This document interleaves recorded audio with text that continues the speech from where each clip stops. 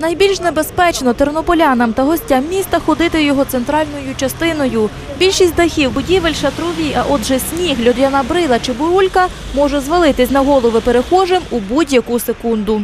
По управлінню був підготовлений наказ. Е, Фактично щодня, коли є загроза або небезпека виникнення і падіння бурульок, задіяно 3-4 одиниці автовишки і відповідно десь порядка 30-40 працівників житлово-експлуатаційних підприємств по очищенню покрівель від снігу і бурульок.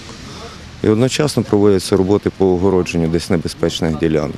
В управлінні житлово-комунального господарства Тернопільської міськради запевняють, зі своєю роботою справляються, а льодові брили падають з дахів будівель, за прибирання яких відповідальність несуть підприємства та організації.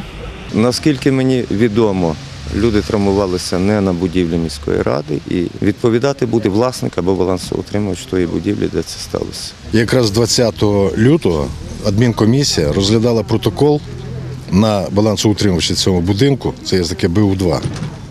Складений був протокол поліцією муніципальною. 20 лютого розглянуто. Отримав штраф 850 гривень.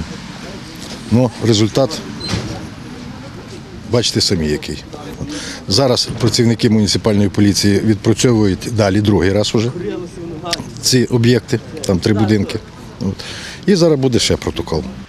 За таке порушення, як несвоєчасне прибирання снігу з дахів будинків, незбиті бурульки та нерозчищену територію, власникам та балансоутримувачам будівель загрожує штраф в межах 850 тисяч 700 гривень. А тим часом, поки муніципальна поліція повторно перевіряє, як працівники ЖЕКів, ОСББ, підприємці та організації чистять від снігу свою територію та складають адмінпротоколи, про небезпеку згори тернополянам забувати не варто. Аби уникнути травмування, рятувальники радять дотримуватись основних правил.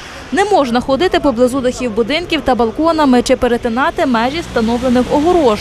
Бути обережними мають і власники автомобілів та не паркувати їх поблизу будинків.